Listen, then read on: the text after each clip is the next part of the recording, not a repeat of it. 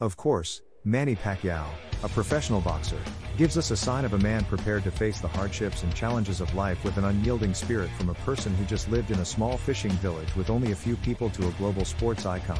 His career was worth remarkable attention. Manny Pacquiao's story is the most charming indication of how hardworking and never giving up people could eventually part with nothing to everything. Despite all the difficulties and obstacles that he had to overcome, he never thought of giving up his dream of being the world champion. Along with this profession, the boxing star, Pacquiao has overcome eight various weight classes and he is the only one who has a title in every field of these weight units which are different. He has reached the status of a world famous fighter because of his unique fighting style and unbreakable love for our national sport.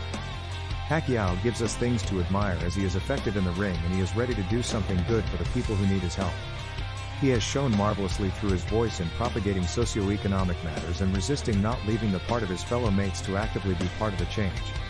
The whole story wakes up Manny's career history of boxing. He's not just a hopeful sign for the brave-hearted types, but a living proof that whenever you put all into something, no matter how hard it seems, you achieve. I appreciate your time, which is always valuable. Not to forget to subscribe to our channel, so don't miss the next reports like this one.